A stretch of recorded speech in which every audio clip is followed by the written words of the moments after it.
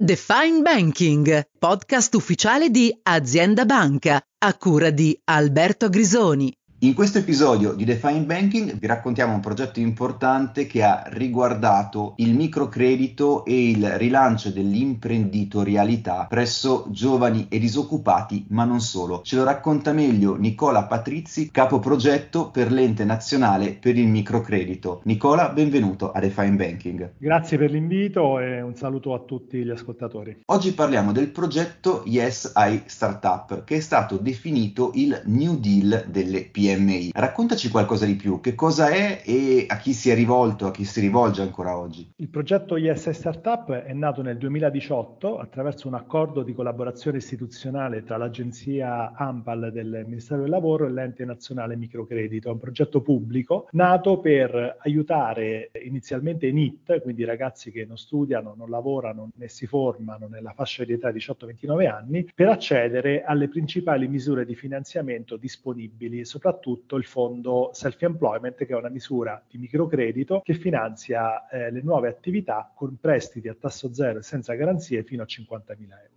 La peculiarità del progetto è quella di garantire un'azione di accompagnamento e formazione della durata di otto ore che viene erogata in tutta Italia grazie ad una rete partenariale che è la vera eh, prerogativa del nostro progetto. Quindi abbiamo creato una rete pubblico-privato in tutta Italia con soggetti specializzati che grazie agli strumenti forniti dal progetto garantiscono su tutto il territorio italiano l'accesso all'azione formativa e di accompagnamento fino alla presentazione della domanda di finanziamento da parte dei ragazzi. Quindi un'assistenza totalmente gratuita per i ragazzi. Il progetto nato per i NIT nel 2018, nel 2021 è stato esteso anche alle donne inattive e ai disoccupati di lunga durata. Ecco, diamo un'informazione importante soprattutto per i giovani e i disoccupati che magari magari vivono, non so, in piccoli centri o in determinate aree del paese. Questo programma si svolge dal vivo, chiaramente in presenza, se ho capito bene, ma si svolge in tutte le regioni italiane, non ci si deve per forza spostare, insomma, per capirci, in una grande città oppure al nord. No, il progetto è attivo in tutte le regioni e eh, grazie alla rete partenariale che nella prima edizione ha, ha visto eh, circa 500 eh, cosiddetti soggetti attuatori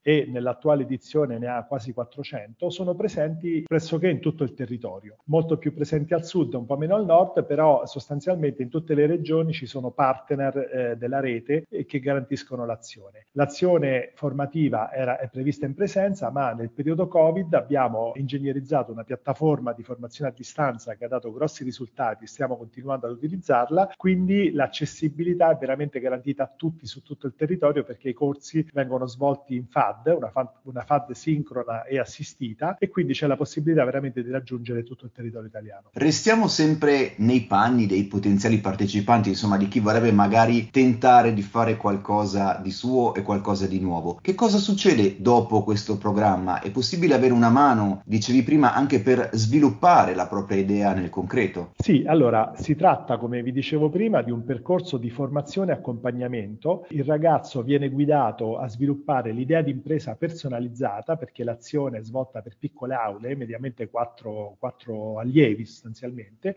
che alla fine del percorso sono in grado di definire il business plan completo, quindi pronto per essere poi utilizzato per la presentazione su un bando, una domanda di finanziamento, sia al Employment, al Sud anche le, gli altri programmi di Invitalia come Resto al Sud, oppure programmi regionali che finanziano lo startup d'impresa. Quindi è un'assistenza mirata e molto operativa, quindi non si parla di autoimprenditorialità in senso lato, ma il percorso corso è tarato proprio per finalizzare l'azione nella scrittura dell'idea di impresa personalizzata. Il progetto nella prima edizione 2018-2020, quindi i primi due anni e mezzo di attività, è partito a maggio 2018, ha coinvolto a livello nazionale 1800 ragazzi di questi, oltre la metà al termine del percorso hanno presentato la propria idea di impresa e oltre il 60% di queste idee di impresa sono state finanziate. Il progetto è stato replicato poi dalla Regione Calabria che con i propri soldi, i fondi regionali, ha eh, mutuato il modello con IS Startup Regione Calabria e nella sola Regione Calabria nello stesso periodo sono state coinvolte mille persone e sono nate nella sola Regione Calabria 400 imprese. Nel complesso sono state nella prima fase 750 le imprese create create con investimento di 31 milioni di euro.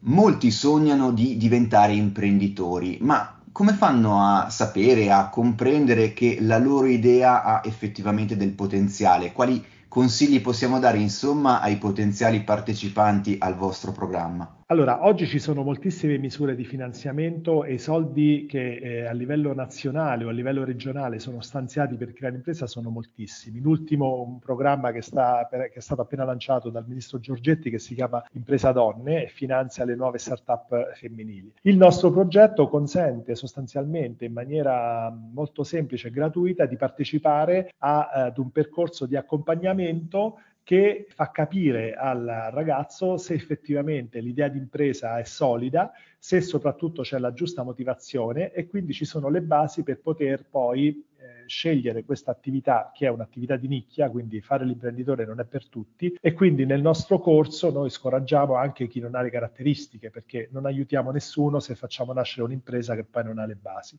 Quindi il percorso è finalizzato proprio a capire se c'è la possibilità e l'imprenditorialità necessaria per mettere in piedi un'impresa che poi può eh, permanere sul mercato. Sempre parlando a chi ci sta ascoltando ed è interessato, come ci si candida a Yes I Startup e quando si apre allora, il prossimo programma? Oggi Yes I Startup è aperto per i NIT. Fino al mese di marzo abbiamo lavorato anche con le donne inattive e disoccupati, ma abbiamo saturato il budget messo a disposizione per il Ministero del Lavoro e siamo in attesa del rifinanziamento. Per i NIT, quindi che vogliono fare impresa, quindi ricordo i giovani che non studiano, non lavorano né fanno per percorsi formativi con un'età fino a 29 anni, possono accedere al progetto attraverso il sito www.diventaimprenditore.eu. Nel sito sono elencati tutti i partner della rete o possono contattare lo staff centrale che li metterà in contatto con il partner più vicino per accedere ai percorsi formativi. Nicola, grazie mille per essere stato con noi oggi nel nostro podcast. Grazie per l'invito e per l'opportunità e spero che questa breve presentazione possa essere d'aiuto per i ragazzi che vogliono e sperano di diventare imprenditori. Grazie a tutti.